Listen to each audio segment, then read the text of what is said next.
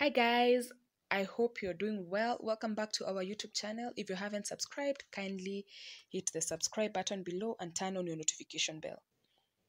All things relationship, we talk about relationship, we give advice and hope you mend yours.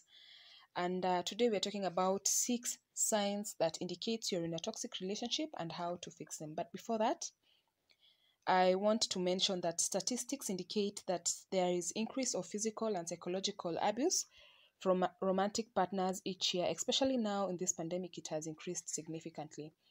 So I'll just dive um, right into it. And the first sign uh, of your toxic partner is that you'll notice that they are self centered.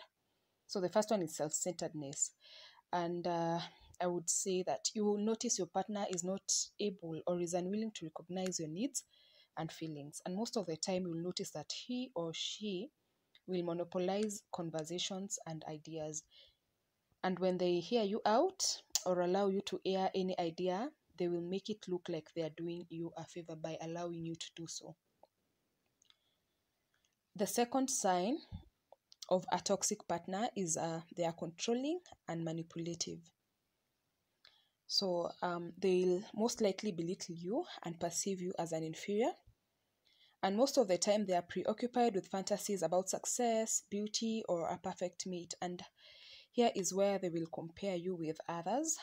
If it's a woman, uh, you will hear something like, "You can't get a you can't get a good job like your peers because there is nothing between your head." Or, or if it's a man, "I cheat because you don't take care of yourself as, as other women do," which is sad, right? So the that the that sign is uh they are usually entitled. So entitlement.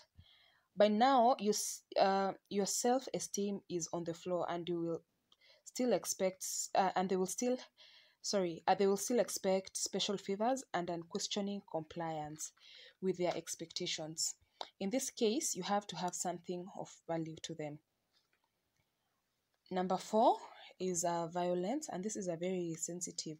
Uh, it's very sensitive for me uh, because I know people who have died through uh, experiencing physical and emotional torture from their loved ones.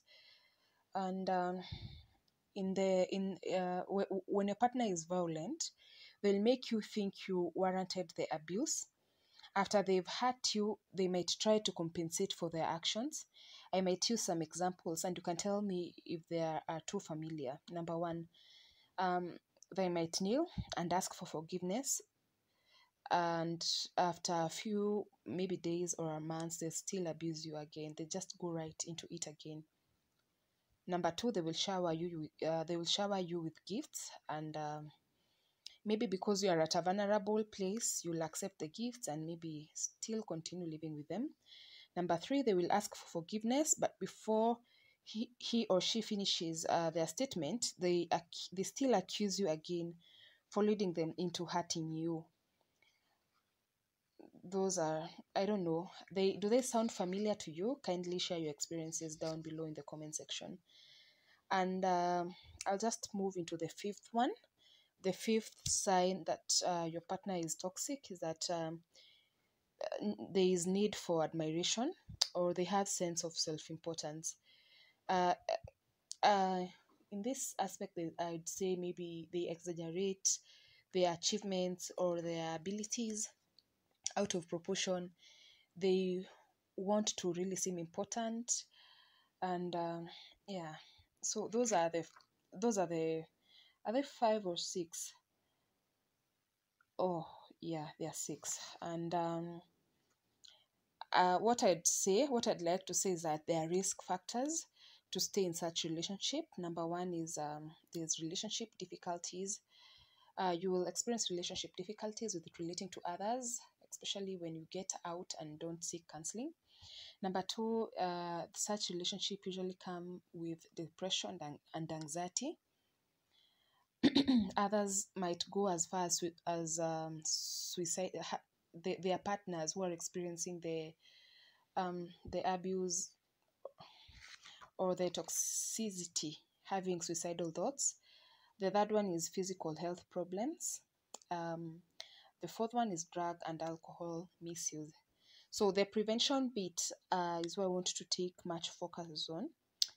Uh, number one, participate in couple therapy to learn healthy ways to communicate or to cope with conflicts or emotional distress. But if it comes to physical abuse, kindly seek help and uh, you can separate if it doesn't get better. And um, just seek ways to heal yourself, heal your relationship, heal your marriage, communicate uh, where you feel hurt. And number two, I'd advise you to move away uh, or get or rather get away. Uh, this is especially also still on the violence beat, uh, either physical or emotional. Number three, get treatment as soon as you solve your mental health problem.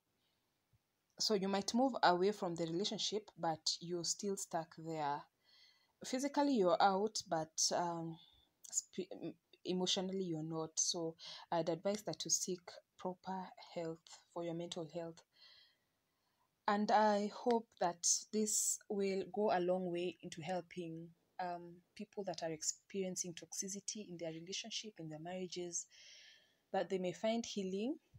This is just an encouragement to for you to speak out, talk to your partner, tell them exactly how you, how their behavior, their toxic behavior makes you feel, and um, if you find a solution, that that's a plus. If you don't find a solution, you can um, do what I've recommended and. Uh, it's going it's going to be well it's going to be well i believe.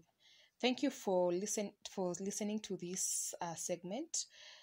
Tell me what you want to tell me what you want me to talk about next and i'll be sure be very willing to talk about it. Have a good day. Thank you. Bye. See you on the next segment